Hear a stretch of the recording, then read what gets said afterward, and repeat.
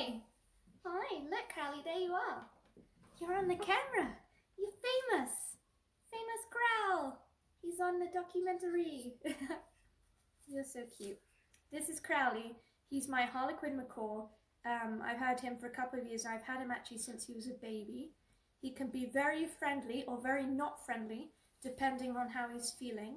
They're exotic birds that come from South America. You won't see this colour naturally in the wild because he's a hybrid. Hi Crowley, you're so lovely. What a handsome man. Please don't eat my finger. hey Crowley, should we? Do you love me? Are you sure? The other cool thing about having a pet macaw is they leave you their feathers when they molt every year. So you get all of these beautiful feathers that you can make a headdress out of. And his are usually blue with the gold on the back, which he gets from his mother. And it's really beautiful. Oh, ah! So Crowley can do a few tricks. I will attempt to show you guys one now. Shall we show them, Crowley? Hang on. Oh, I got you now. Ha! I have you. Little baby. He's so cute. You're a cute boy. Mwah. Meow kiss. Mwah. But I will say one thing. I did have a lot of people, you know, I watch his videos and I'm always like, oh, don't, you know, don't get a macaw, don't get a cockatoo, don't get a parrot.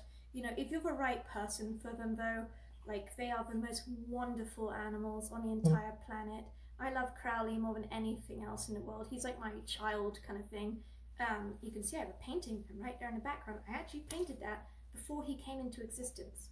I kind of like willed him into existence with magic. And the painting, it looks a lot like him, weirdly.